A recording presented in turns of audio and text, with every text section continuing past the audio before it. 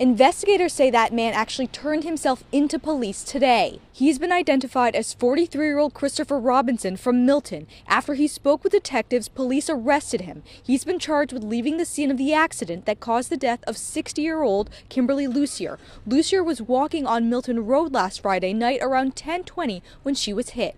Police say Robinson hit her with his pickup truck while she was pushing a baby stroller with her belongings. Police say the public was extremely helpful in putting together the pieces of this investigation. It's very helpful to have the public's assistance, not only in determining who the driver was, but also so that we can get to the truth of what actually happened out there. Again, Robinson is out on bail. He's expected to be arraigned at Strafford Superior Court next month. In Rochester, Ariel Metropolis, WMUR, News 9.